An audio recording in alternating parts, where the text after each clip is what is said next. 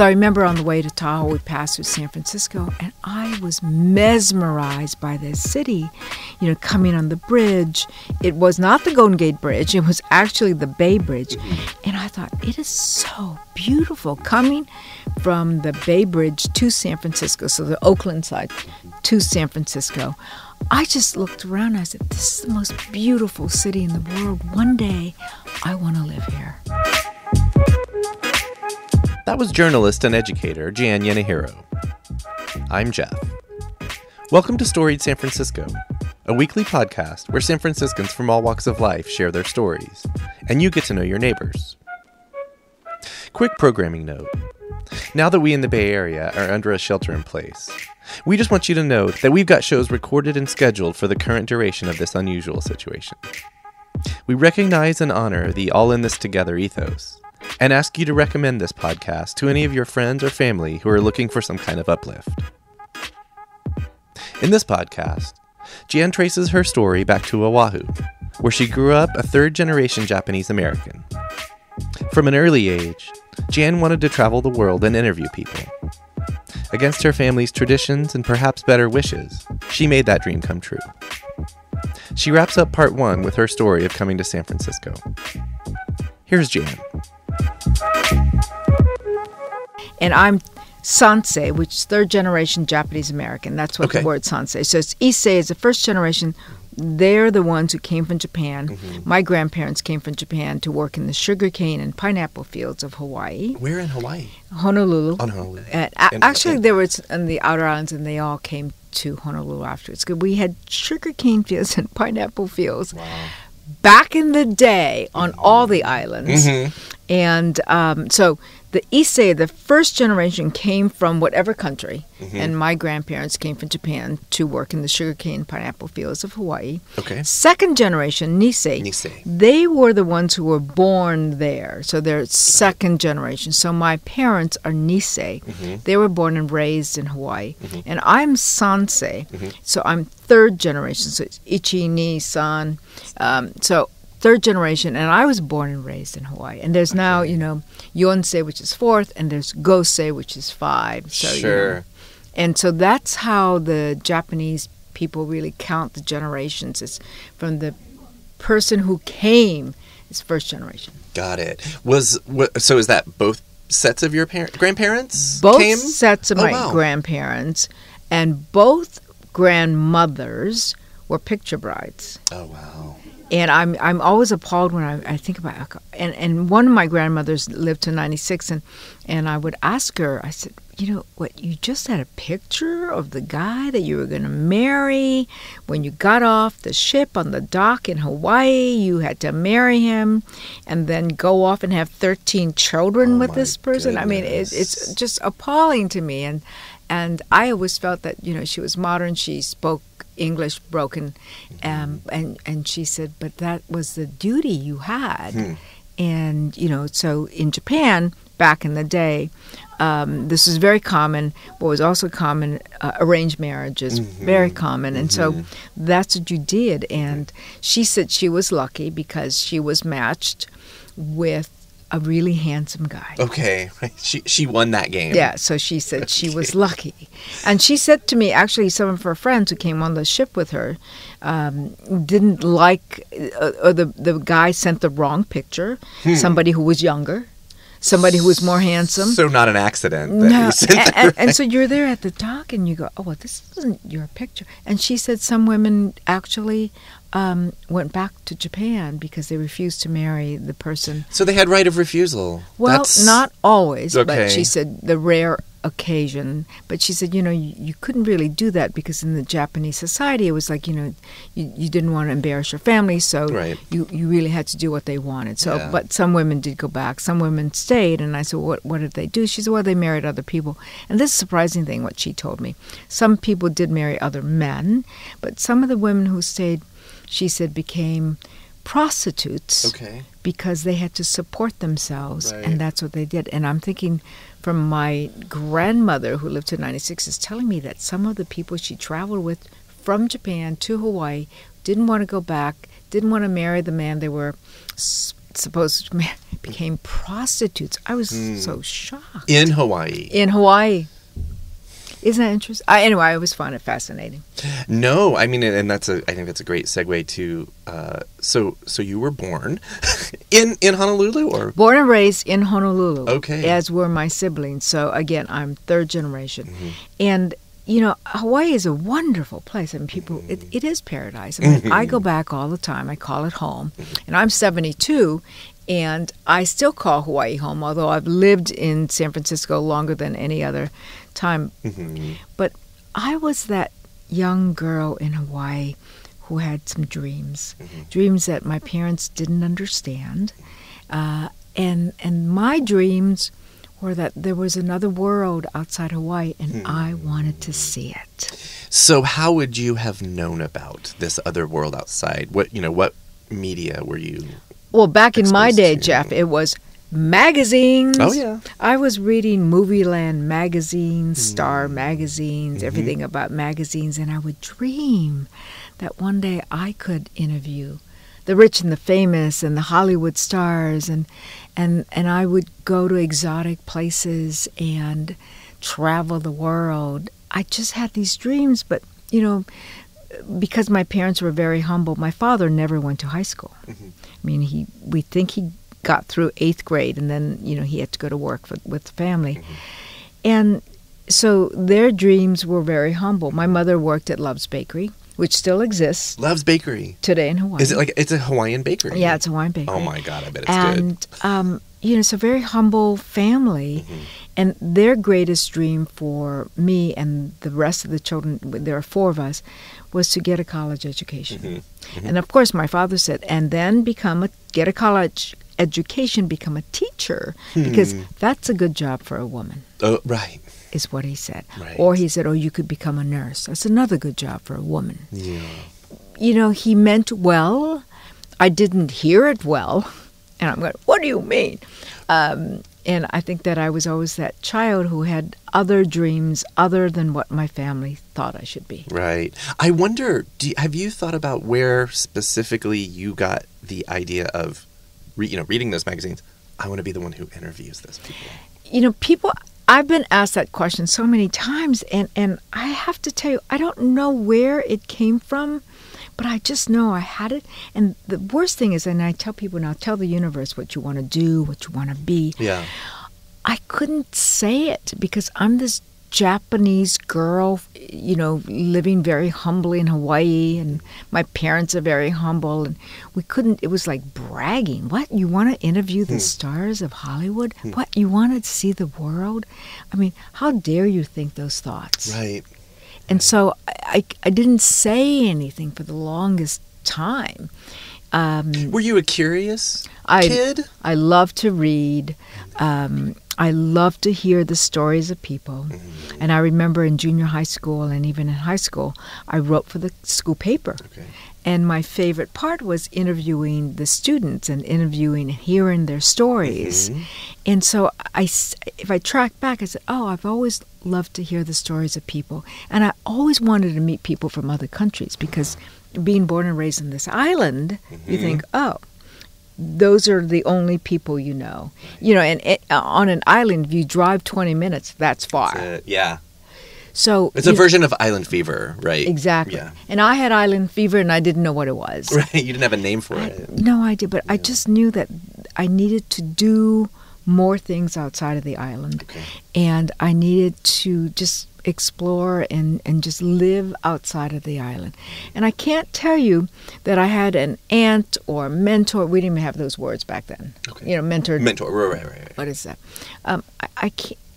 You know, it's just something that you you grow up with that you feel, and and you it just sort of it's burning desire almost. Mhm, mhm. And so my parents begged me to go to the University of Hawaii, which I did. Mhm. And after one year, I said, I told my mother, I have to go to the mainland. I, I want to go to way to school. Of course, we had no money, um, but I was secretly working two jobs and saving all my money for, to, you know, one year of college here on the mainland. You were Uh, hustling as a kid, I just, as yeah, a teenager. I just had to do it. Yeah. And- Had you visited at that point? no, I had never, had never left, left? the islands. until I came away to go to college to Fresno State University Hmm. in uh, September of 1967. How did you choose that school? I chose Fresno, California, Fresno State University, because it was in the middle of the state of California. I had never been, and you know, we did not have internet. Nope. We we didn't have cell phones. I would look at catalogs Mm. in pictures and read about and uh, about universities, and I just knew that I didn't know anything about California, but that was the closest to Hawaii Mhm. and I didn't know LA, I didn't know San Francisco, so I said, "Oh, I'll just go to the middle of the state," and I thought I was going to New York City. and, Boy, were you in for a surprise. and Fresno did have a journalism program, that's yeah. Mm-hmm. which I thought spoke to me, and so and the, it was inexpensive, so I said, "I'll go there," and I literally had enough money for one year of college, okay. and then of course I, when you came, you mean you, when, I you came, arrived? right? And, okay. and of course, then my mother secretly knew that I wanted to leave. My sister secretly knew, my older sister, but my father didn't know because I didn't tell him. Mm-hmm. And then, you know, pretty soon summer comes along, and I'm leaving in September, and he is furious Yeah, when he finds out. Mhm. Furious. You are not going. Mhm. You are not going to the mainland. You are not going. You are going to stay here and go to the University of Hawaii and finish. I, I just, I wouldn't talk to him. that must have been difficult. Oh, it was hard, and I Yeah. said, I'm not. He, his greatest fear, and I look back now, and he's gone. But his greatest fear would, is that I would come to the mainland and become this wild child. you know, take in up, the '60s, like take you up said. smoking and drinking Yeah. and peroxide my hair orange and just just be wild. And that was his fear because Yeah. he didn't know. Right. No one in the family had left to go to the mainland. This is the mainland to go to college. So we didn't have anybody to lead the way. It was the fear of un, of the unknown for him, and Right. and fear of change and and unpredictability. And I remember after I, I couldn't go back for a year and a half because you know ex- airline flights were expensive back then. And when I came back after a year and a half to visit my family, and he looked at me and he said, "Oh, you you haven't changed." Right. And Look at that. and I said, "Well, you know, I, I was me before. I'm still me." But but the greatest thing I think for me is that when I did graduate from Fresno State University, my entire family came to, to see me Oh, graduate, That's beautiful. and it was the first time they had left the islands. Wow. My parents had never left the islands. My siblings had never left the islands.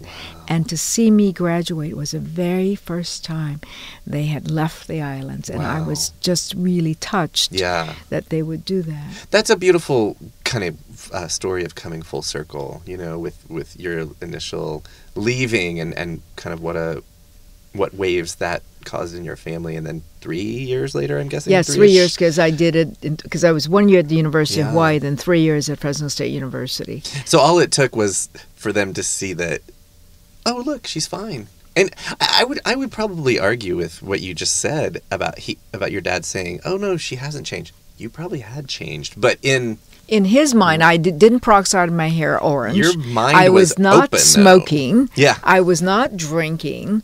Um, you but know, your your world had expanded, and your in, you know and I knew that the world was bigger than Hawaii and Fresno, and I needed to see it. Mm-hmm. So after college, a week after college graduation, I was at Breech Academy in Kansas City studying to be a flight attendant for TWA. okay, Trans World Airlines, which was an international airline, and and that's the first job I got out of college. wow, And my parents were so upset. Yeah. My father said, "You are throwing away your college education." Hmm. And I said, "No, I I, I want to see the world." And in my generation, um, back then, the college kids after uh, graduation, they were taking their backpacks and they were backpacking through Europe. I, I had I had college debt hmm to pay off. So I couldn't do that. I had to get a real job. And the job that I wanted was to become a flight attendant because I thought I could see the world. So then my father was extremely upset. You're throwing away your college education. I then was assigned to Chicago to be, uh, that was going to be my base. My mother said, Oh no, you can't go there. The mafia is there.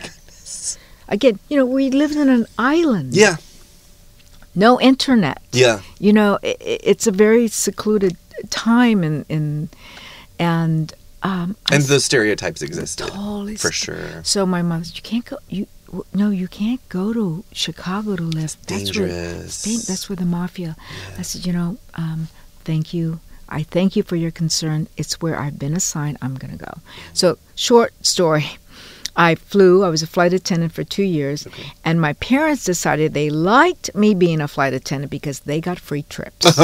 it worked out in the end. and in the end, they were flying everywhere. They ran around the world. TWA had this around the world perimeter fare, and I got Oh, them yeah. that. And you know, they got to fly around the world, and they got to travel. And in the end, they loved it Awesome. that I became a flight attendant. Mm-hmm. Um, and then I did it for two years. I always knew, Jeff, that it was only going to be for a short time.